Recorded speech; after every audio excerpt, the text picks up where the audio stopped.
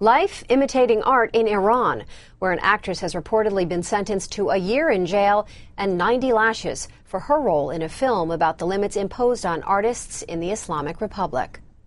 Marzieh Vafamehr was arrested in July and was held in prison for weeks before being released on bail. Her sentence was just reported on an Iranian opposition website. In the film My Tehran for Sale, Vafamehr stars as an actress whose theater production is banned by authorities.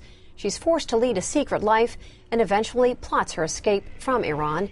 The movie was not approved for screening in Iran, but apparently has been distributed within the country illegally.